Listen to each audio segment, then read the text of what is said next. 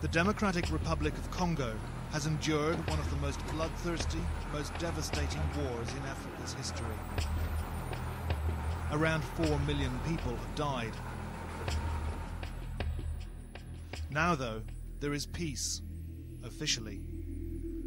But the killing hasn't stopped. And it's all about one thing control of Congo's vast mineral wealth.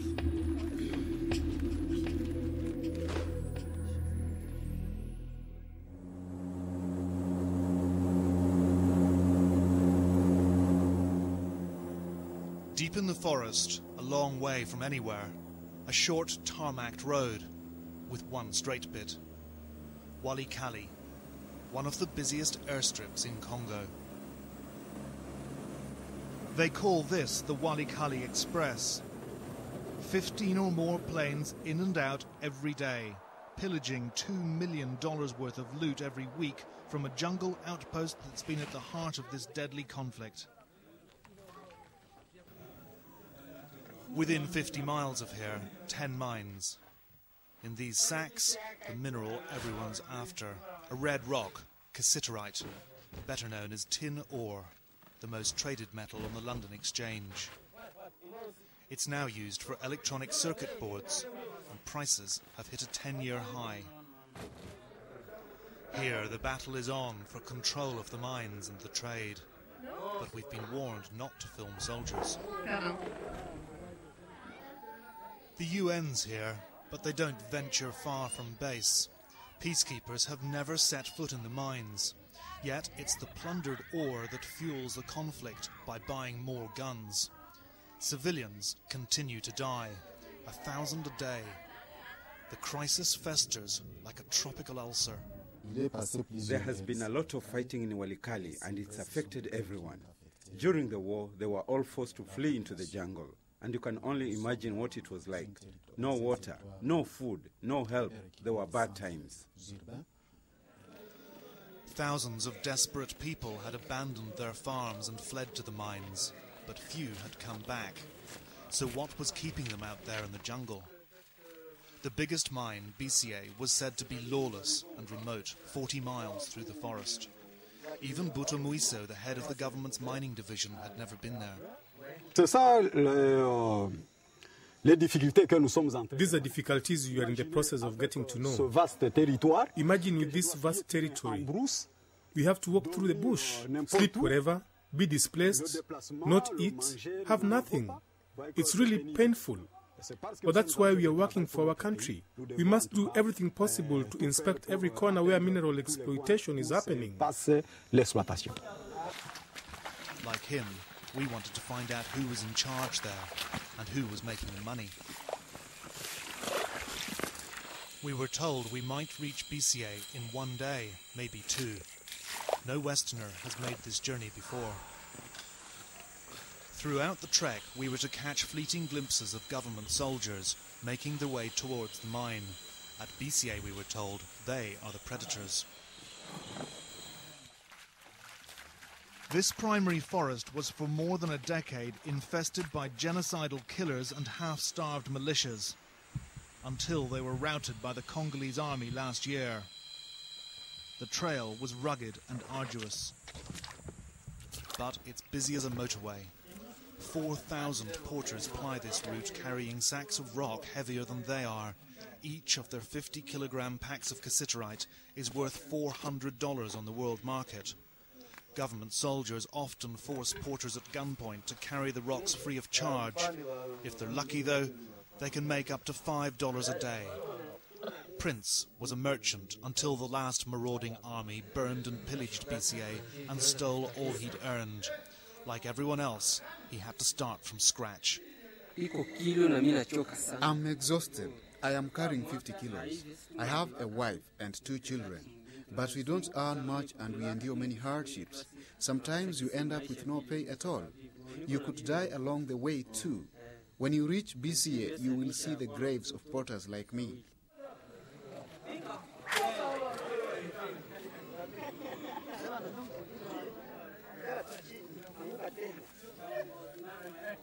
Prince had already slept one night in the jungle. He had another 15 miles to go. If he was to make it to Walikale airstrip by sundown, he had to get moving. Other porters are eager to share their tales of hell.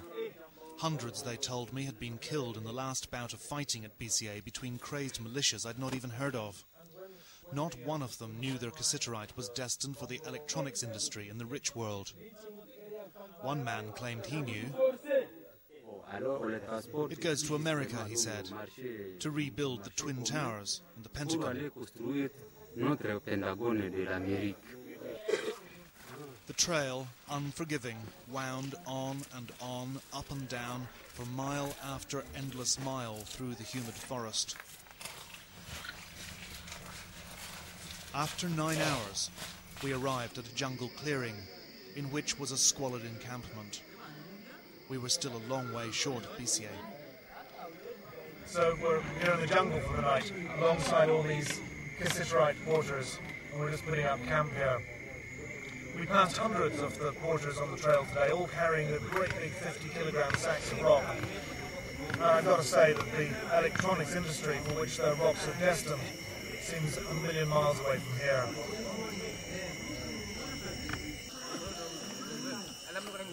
By chance, we meet a tribal chief from BCA and his administrator. They tell us how the traditional inhabitants of BCA Mountain have been thrown off their land at gunpoint to make way for mining. So vile mimi niko pandani ya BCA. I find it's very hard being here in BCA. Hapa ndani ya BCA ninaona magumu mingi. The militia set fire to the town and all houses were destroyed. I managed to escape but lost all my possessions. Nilikuwa na yoyote karibika. Bo. Mimi sina furaha. I am not happy at all because all the wealth, the family inheritance has been taken away from me. wanapata ile mazao, wanapata faida yenyewe.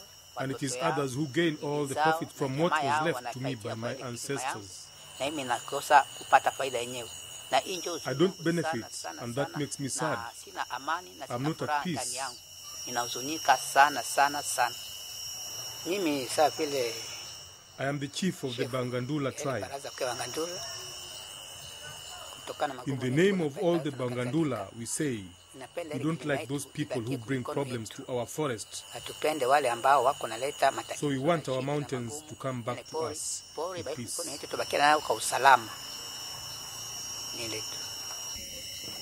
The dank air reeked of stale sweat and exhaustion. The porters ate their only meal of the day. It rained all night, but no one seemed to notice, for at Koba camp we sleep like the dead.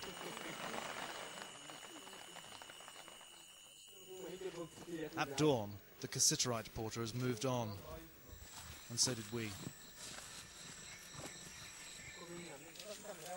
Late morning, an ambulance passes by.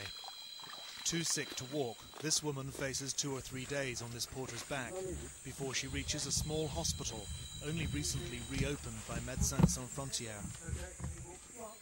Five hours into day two, we stumble across a graveyard in the jungle, as Prince the porter had said we would. We knew we must be close to BCA. Here lay victims of war, starvation, overwork, malaria, typhus, and cholera.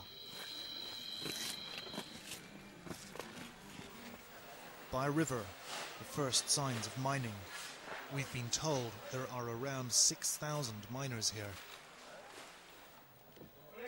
At this point, the trail goes straight up. No one had seen the likes of us in these parts before.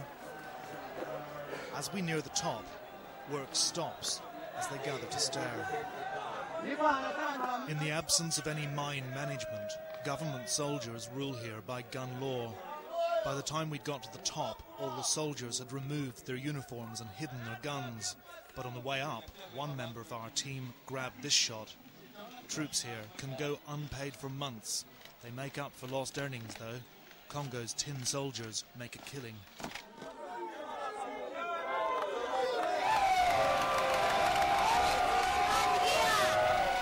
The miners were cheering because word had gone round we'd come to help end their plight.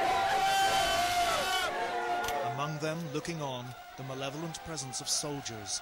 It's just that we don't know who's who.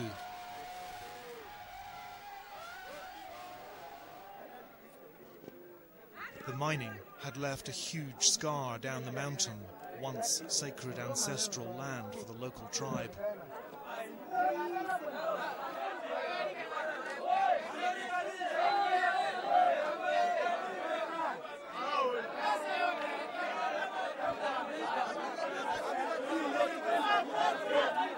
Most of the work goes on deep underground. Well, this is it, cassiterite. It's tin oxide. It looks like a rock, but it's much heavier. It feels like a chunk of metal.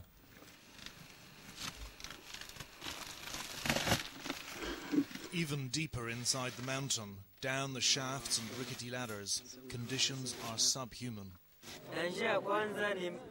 In the hall, you have to crawl and squeeze and suck in your belly to make it through. The next danger is the huge rocks above. Often they bury us, and once they move, it's instant death. Then there is the darkness, and there is no air. Once you get down more than 200 feet, the airflow stops altogether. It's up to you to figure out how to breathe. As you crawl through the tiny hole, using your arms and fingers to scratch, there is not enough space to dig properly and you get badly grazed all over. And then, when you do finally come back out with the cassiterite, the soldiers are waiting to grab it at gunpoint, which means you have nothing to buy food with. So we are always hungry. The miners don't work for money. The rocks the soldiers don't steal are traded for food. Most become deeply indebted to traders, who themselves get stuck here for months, able only to witness the horror of daily life here. The miners work for nothing. The soldiers always steal everything. They even come to shoot people down the mine shafts. Yes, not long ago, they shot someone. They forced the miners to give them everything and they threatened to shoot anyone who argues. They are always ready to shoot. We are really penalized. We earn nothing, but we pay a lot. The soldiers, they're all around us here, but they're in civilian clothes. Even the government's own Ministry of Mines has been rendered powerless by the greed of the Congolese army. Compte tenu de l'insécurité. Security is not respected. We live in a state where only the fittest survive. Different armed groups do what they want with the population for their own ends. The state doesn't benefit at all. We need to bring back order and get respect for the Ministry of Mines because, at the moment, everything is done for those who are the strongest. We demand that order is established, and that way everyone can be in their rightful place, the military in their barracks. 100 years ago, the novelist Joseph Conrad described the colonial plunder of Congo as the vilest scramble for loot that ever disfigured the human conscience. Nothing has changed. Cassiterite is mined and portered by people who are cannon fodder for the industries of the rich world. Five armies have battled for control of BCA mine in just five years. The morality of trading in Congolese cassiterite is now under the spotlight. Having seen what goes on here, we wanted to track down the middlemen who were making handsome profits literally living off the backs of these people.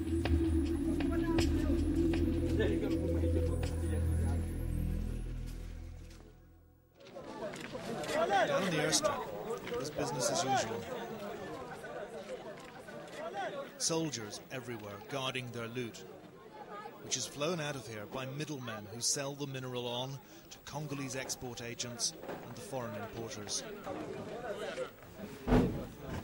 Demand for cassiterite has surged because new laws in Japan and Western Europe have resulted in tin replacing lead in the manufacture of electronic circuit boards.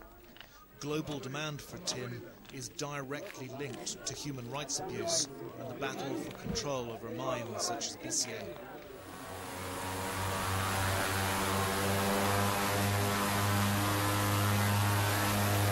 Destination, the provincial capital, Goma. Old Russian plane, Ukrainian pilot, no seats.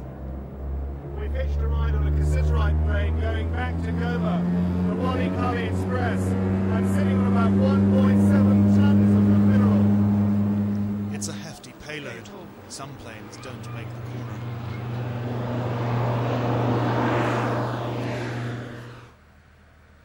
The eastern border town of Goma, Congo's Cassiterite capital, where there's a heavy UN presence but no intervention in mineral trade. Much of Walikale's ore is transported illegally across the border to Rwanda for international export.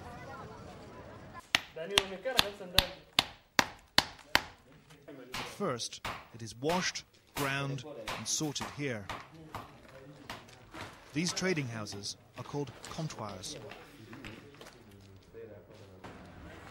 Shwede Chisugi is a Congolese businessman who knows the trade inside out. He insists there's nothing immoral or illegal about it. And where does it go from here? You go to export to Europe. To Europe? Yeah. And, and who buys it? The, the comptoir? By, by road, we take uh, by road Kigali, Kigali, uh, Nairobi, uh, Uganda, Uganda, Nairobi, Nairobi, Europe. Huh. Yeah. From Mombasa port? From Mombasa port. What is your answer to the people who say this country is being looted? So illegal? On achète là au forêt. We buy it in Walikale, in the bush, and then transport it to Goma. Jusqu'ici à Goma. À Goma, In Goma, travaille ça, we work on on it, paye les taxes and then pour we pay tax to get it exported, Et on fait and we export l'exportation. it. It's not stolen.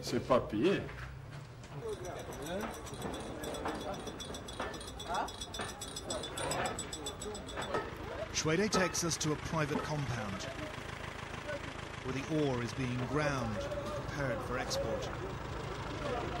An argument breaks out over whether we should be allowed to film in the comptoir.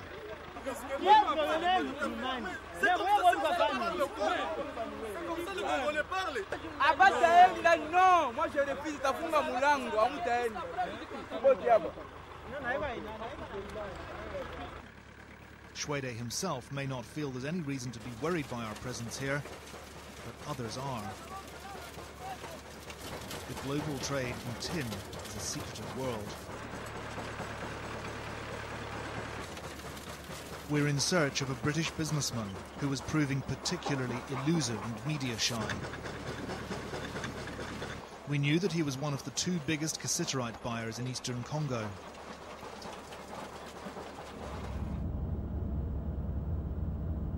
We eventually caught up with Ketan Kumar Kotecha in Bukavu, another border town where his family, the Kotechas, have been in business for more than 40 years. We spent an hour and a half talking to Mr. Kotecha in this office, discussing the corporate ethics of buying minerals in a conflict zone. Our conversation became increasingly uncomfortable. His firm, Afrimex, has been exporting cassiterite from eastern Congo for more than 20 years. But Mr. Kotecha refused to go on camera, agreeing instead that I could represent his views in our report.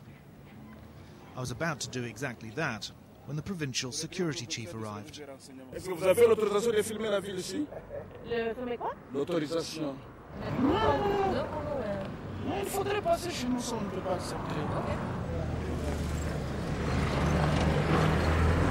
Go to the station. At police headquarters, we were questioned and our camera and passports were confiscated. We were released without charge the following day and put on a boat back to Goma.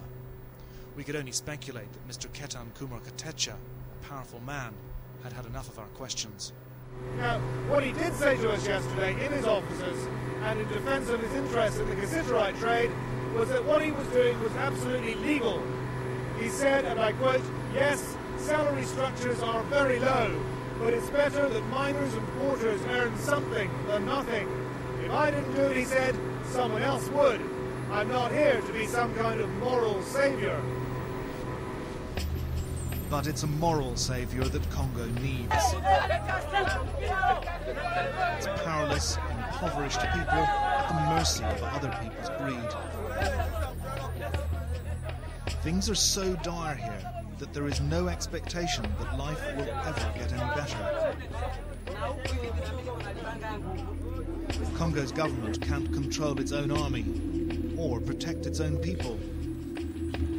A people cursed by the riches under their feet.